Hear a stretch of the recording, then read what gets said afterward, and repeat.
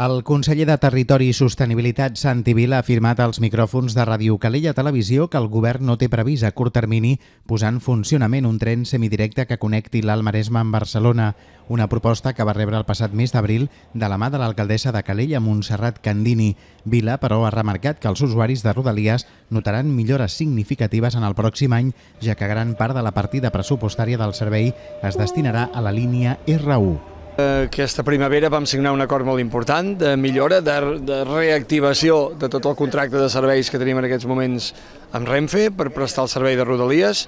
i en aquest sentit jo crec que això a partir de l'any que ve s'ha de traduir en un millor servei. No se li escapa a ningú que aquesta és una línia que en la mesura que té encara un tram en via única doncs és molt complicat de garantir doncs, un servei realment doncs, de qualitat. De totes maneres,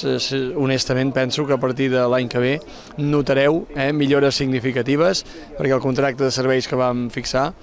sobretot sobretot es concentra en la R1, es concentra doncs, en aquesta línia del Maresme. En referència encara al servei ferroviari, Vila sí que ha anunciat la posada en marxa del servei de la línia Blanes-Girona-Figueres, una millora que també serà pels usuaris de Calella a principis de l'any que ve. El servei que segur que es posarà en marxa a partir de l'any que ve és la connexió Blanes-Girona-Figueres. Aquesta és una connexió que reforçarem moltíssim, per tant, buscant mínimament algú que et porti fins a Blanes o fins i tot fent servir el servei actual fins a Blanes i allà canviant, doncs jo crec que tindreu una accessibilitat molt i molt bona, sincerament, cap a Girona, eh, i per tant ens quedarà doncs, eh, remuntar bé, bé, bé, bé la direcció Barcelona.